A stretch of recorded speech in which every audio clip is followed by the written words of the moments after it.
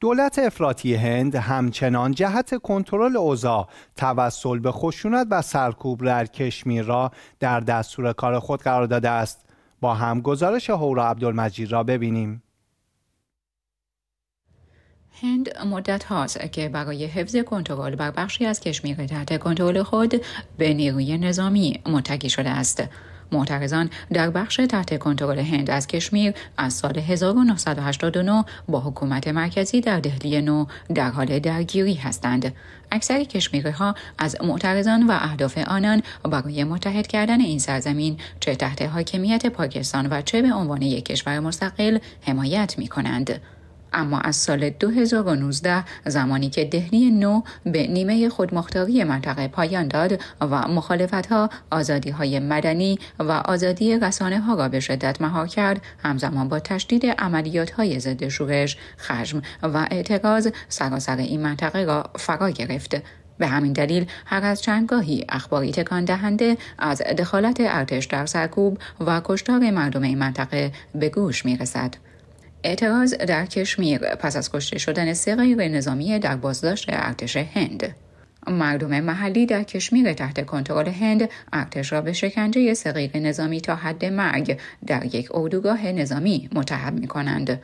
مقامات محلی می‌گویند پلیس در تلاش برای آرام کردن معترضان این حادثه را بررسی خواهد کرد. برخی از منابع محلی گفتند که پس از کشته شدن سقیق نظامی که در بازداشت ارتش بودند خشم و اعتراض در برخی از مناطق کشمیر تحت کنترل هند گسترش یافته است. مردم محلی پرسنل ارتش را به شکنجه این سه نفر در یک اردوگاه نظامی متهم کردند. گفته شده که در اجساد افراد یاد شده آثار شکنجه شدید وجود دارد. خانواده های این افراد گفتند که پنج زندانی دیگر پس از شکنجه شدید به بیمارستان ارتش منتقل شدند.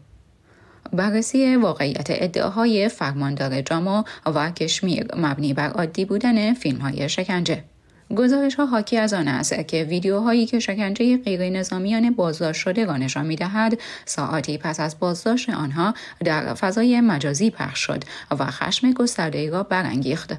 مقام های این منطقه صبح شنبه خدمات اینترنت دستگاه های هوشمند را در این منطقه قطع کردند. این شیوهی رایج برای جلوگیری از بروز اعتراض های احتمالی و پیشگیری از انتشار ویدیوهای دیگر است که توسط مقام های دولتی بارها انجام شده است. سرهنگ دوم سونیل بارتوال سخنگوی ارتش هند گفت که عملیات جستجو برای کشف این ماجرا ادامه دارد اما در ادامه افزود هیچ مدرکی در زمینه چگونگی کشته شدن سه غیر نظامی یاد شده وجود ندارد.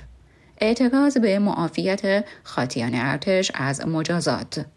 تظاهرات در سرینگر شهر اصلی منطقه آغاز شده و حداقل سه حزب سیاسی کشمیری تظاهراتی را علیه این کشتار برگزار کردند. محبوب مفتی مقام ارشد منتخب سابق منطقه که زمانی از متحدان حزب حاکم نخست وزیر نارندرا مودی بود گفت که تبرعه اخیر یک افسر ارتش در قتل سه غیر نظامی در یک درگیری مسلحانه سه سال پیش ارتش را بیپروا کرده است و ایجاد یک سوء پیشینه برای این گونه افراد خاطی می تواند محدودیت برای آنان در جهت تکرار این گونه رفتارها نماید. قانون اختیارات ویژه نیروهای مسلح به ارتش هند در کشمیر اختیارات گسترده می دهد تا مزنونان را بدون ترس از پیگرد قانونی دستگیر بازجویی و مورد پیگرد قرار داده و حتی به سوی آنان تیراندازی کنند. بر اساس این قانون مقام های محلی برای پیگرد قانونی سربازان ارتش یا شبه نظامیان خاطی در دادگاه های غیر نظامی به مجوز فدرال نیاز دارند.